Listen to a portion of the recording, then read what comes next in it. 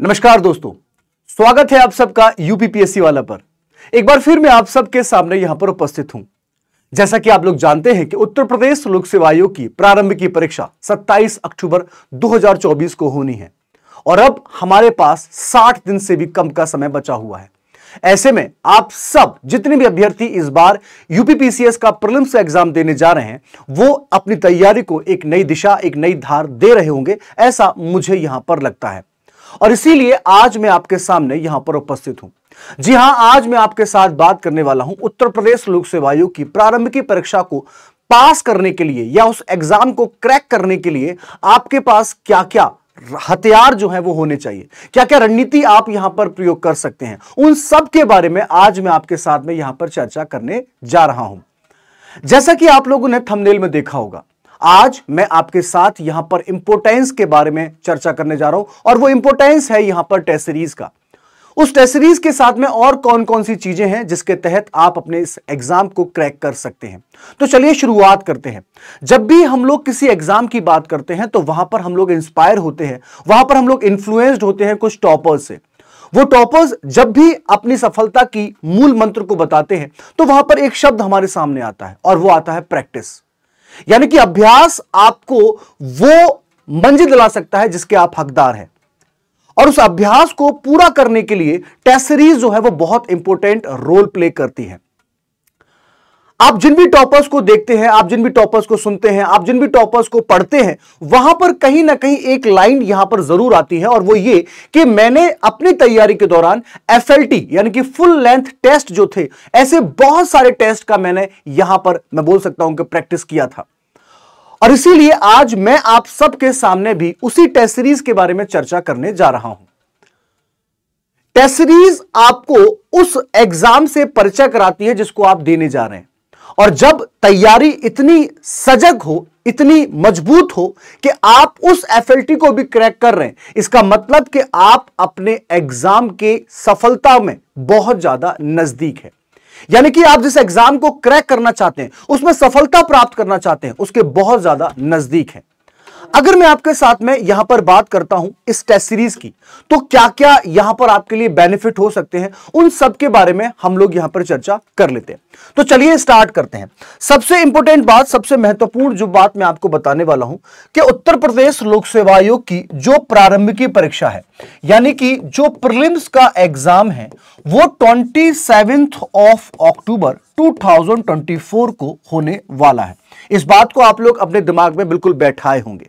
और अगर आज हम लोग बात करें तो लगभग तारीख जो है, वो चार नौ दो हज़ार चौबीस हो चुकी है। यानी कि we have less than less than sixty days अब हमारे पास में साठ दिन से भी कम का समय है। साठ दिन से भी कम का समय है। ये मैं आपको एक बार फिर से यहाँ पर लिख देता हूँ। नहीं तो हो सकता है कि कुछ बच्चे यहाँ पर कंफ्यूज हो जाएँगे।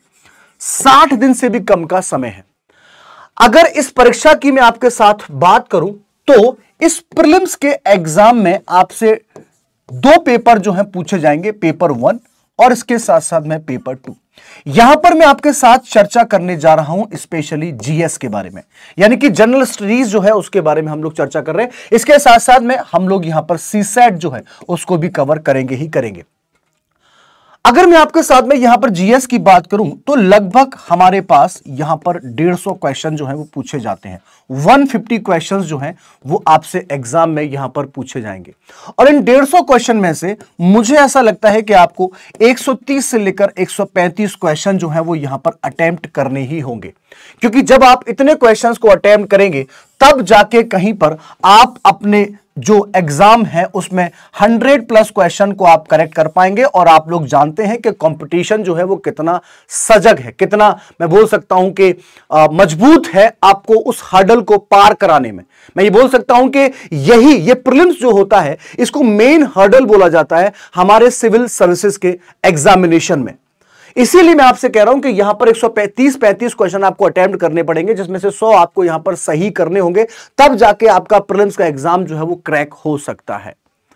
अब सवाल यह आता है कि इसकी प्रैक्टिस कहाँ से की जाए? हम लोग इस बात को बहुत अच्छे तरीके से जानते हैं कि हम लोगों ने हमारा जो सिलेबस है, यानी कि पाठ्यक्रम जो है, उसको हमने अच्छे से कवर कर लिया है। हमारी जो बुक्स थी, उसको भी हमने अच्छे से पढ़ लिया यानी कि जो पुस्तक जो थी, उसको भी हमने अच्छे से कंप्लीट कर लिया है। और हमने जो फैक्ट हमको याद करने थे, ये भी हमने कर लिए हैं। लेकिन अब इसको अप्लाई कहाँ पर करना है? क्योंकि हो सकता है कि जब हम एग्ज़ाम देने जाए, और जब क्वेश्चन हमारे सामने आए तो हम नर्वस नर्वस फील हो जाए, क्योंकि यह बात हम बहुत अच्छे तरीके से जानते हैं कि जब भी हम एग्ज़ाम देने जाते हैं, वो प्रेशर अलग होता है।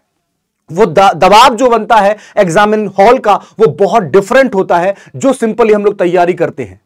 और इसीलिए मैं आप लोग को यहाँ पर आप सजेस्ट करना चाहता हूँ कि जब भी आप एग्ज़ाम देने जा रहे हैं, यानी कि जब आप 27 अक्टूबर 2024 को जब एग्ज़ाम देने आप जा रहे हैं तो ध्यान रखिएगा, इससे पहले आपको अच्छी खासी प्रैक्टिस जो है, वो इन टेस्ट के माध्यम से कर लेनी चाहिए। इन टेस्ट के माध्यम से आप अपने आप को परख सकते हैं कि कहीं कोई टॉपिक छूटा तो नहीं है। कहीं ऐसा तो नहीं कि कोई पुस्तक में से कोई चीज़ जो है वो मुझसे रह गई हो। कहीं ऐसा तो नहीं कि कोई फैक्ट जो है वो मुझसे मिस हो गया हो। लेकिन हाँ, एक बात मैं ज़रूर आपके साथ में यहाँ पर शेयर करना चाहता हूँ। कि जब भी आप टेस्ट सीरीज़ को लगा रहे हैं, जब भी आप टेस्ट सीरीज़ को लगा रहे हैं तो ध्यान रखिए कि अपना माइंड जो है, वो एकदम आपको कांस्टेंट रखना पड़ेगा उसी टेस्ट सीरीज़ पर। वो दो घंटे, अगर आपके पास, अगर आप एफएलटी अगर यहाँ पर सॉल्व कर रहे हैं तो अपने आप को दो घंटे आप बिल्कुल आइसोलेट कर लीजिए। जहाँ पर आप ना किसी से बात कर रहे हैं, ना आपके पास में फ़ोन है, ना कोई आपको डिस्टर्ब करने वाला है, ना कोई बुलाने वाला है।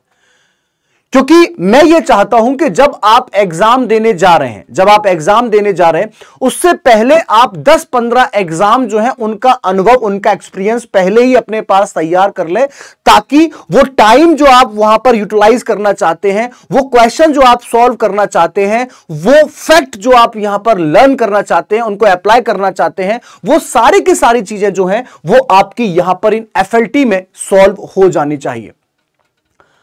आप में से बहुत सारे अभ्यर्थी ये सोचते होंगे कि यहाँ पर जितने भी एजुकेटर्स हैं या जितने भी फैकल्टी मेंबर्स हैं, ये बहुत अच्छा पढ़ाते हैं। मान लिया कि चलो बहुत अच्छा पढ़ाते हैं, सबको समझ में आता है, लेकिन फिर इन फैकल्टीज का, इन मेंटर्स का सिलेक्शन क्यों नहीं हुआ?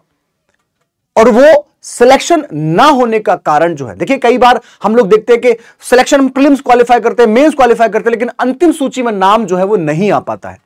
उसका रीजन क्या है? उसका रीजन है वहाँ पर कुछ छोटी छोटी गलतियाँ। अगर मैं अपने सिलेक्शन की यहाँ पर बात करूँ, या अंतिम सूची की अगर मैं आपसे बात करूँ तो उसमें सबसे इंपॉर्टेंट रोल जो था, वो यहाँ पर इस टेस्ट सीरीज़ का था।